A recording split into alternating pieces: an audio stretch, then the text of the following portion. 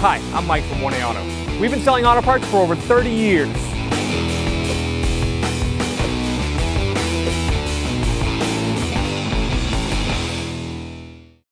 If you're in a situation where you need to have your vehicle towed or pulled from the front, the front tow hook is located in the spare tire uh, styrofoam pack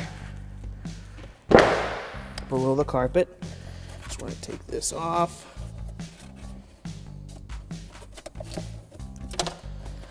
Remove your wrench.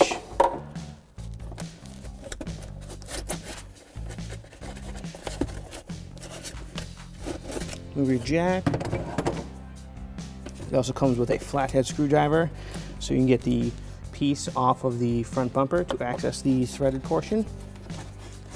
And this is the tow hook itself.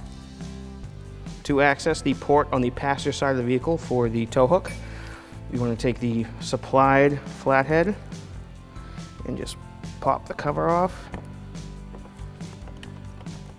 It will stay attached. So you move your tow hook portion aside, you insert your tow hook, which is reverse thread. So you're going to turn it counterclockwise, which is going to feel very strange. Insert your tow hook. And just get it as tight as you can by hand.